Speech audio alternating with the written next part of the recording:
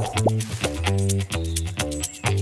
Le saviez-vous La consommation de tabac est la première cause évitable de décès dans le monde. En France, 75 000 décès, dont 45 000 par cancer, sont directement liés au tabagisme. Lorsqu'une cigarette est fumée, elle dégage environ 250 substances dangereuses, comme le goudron, l'arsenic ou le plomb. 70 d'entre elles sont cancérigènes. Le tabagisme est associé à 17 localisations cancéreuses, notamment le poumon, le larynx, la vessie le pancréas. Arrêter de fumer, c'est possible et ça change la vie. Dès le premier jour sans fumer, les bienfaits apparaissent. La tension et le rythme cardiaque sont stabilisés.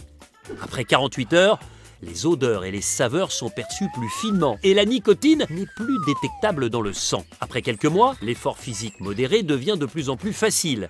Après un an, le risque d'infarctus du myocarde diminue de moitié. Au-delà de 5 ans sans fumer, le surrisque de cancer lié au tabac est diminué de moitié. Pour préserver votre santé et celle de vos proches, arrêtez de fumer. Des solutions existent. Parlez-en à votre médecin, appelez le 3989 ou téléchargez l'application 3989. Vous serez mis en relation avec des tabacologues qui vous accompagneront et vous aideront dans votre sevrage.